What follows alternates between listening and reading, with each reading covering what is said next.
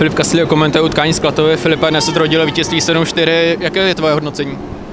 No, musím říct, jako, že od první minuty jsme šli do toho jako otevřeně, že nebudeme blázni, že si počkáme na jejich chyby. Překvapivě se nám to vyplatilo, protože Klatovy nevěděli, co na nás rád, byli jsme, měli jsme zauštěný pásmo a vlastně těch jejich chybama jsme dávali góly.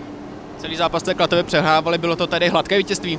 Uh, to bych ani neřekl, spíš bych řekl, že to bylo tím, že jsme plnili to, co jsme si řekli, že jsme jim nedávali moc prostoru, neměli tolik šancí, takže myslím si, že to bylo zaslouženě jako odbojovaný. A...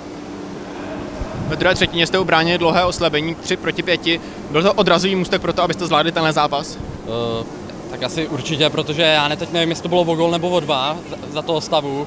Jo, takže kdyby tam možná Klato vydali jeden, dva góly, jak bude vyrovnána, možná ten vývoj bude vypadat jinak, jo, ale ubránili jsme to parádně, takže díky za ty tři body no, v závěru.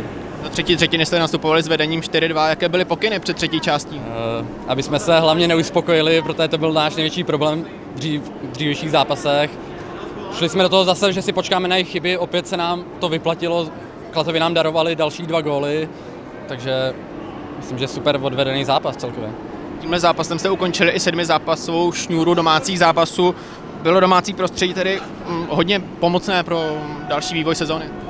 Tak jako určitě, jo, těch lidí chodí čím dál tím víc, nevím, jestli to je, že se blíží Vánoce nebo naší předvedenou hrou, to nevím, ale určitě je to na, náš šestý hráč, takže jim jsem chtěl tuhle formou poděkovat. Utkání nastupuješ vedle bratru Hadrau, jak bys okomentoval tuhle spolupráci? Tak jako překvapivě, jako to klape, jsme spokojeni, myslím všichni tři. Moc toho neřešíme, hrajeme úplně lehce a docela se na tom ledě nacházíme, takže paráda zatím. Celkově v tomhle týmu nastupuje mnoho pelřimovských odkovanců, berete to jako velkou výzvu?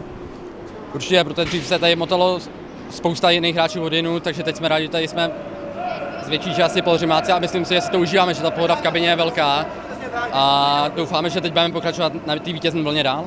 Teď přichází období, které se dá považovat i za klíčové. Cítíte i na hřišti, že ty zápasy mají větší tempo a že se pomalu začíná lámat chleba? Cítíme, protože vidíme tabulku, letos jde 10 týmů do playoff, takže víme, že teď nevím, jestli jsme už konečně do té desíce, tímhle vítězstvím jsme se dostali, ale víme, že těch zápasů už moc nezbývá, vlastně už je tam jenom leden a nějaký zápasy v únoru, takže musíme bodovat co nejvíc, aby jsme si zajistili to playoff. Filipe, díky, jak se daří. Díky.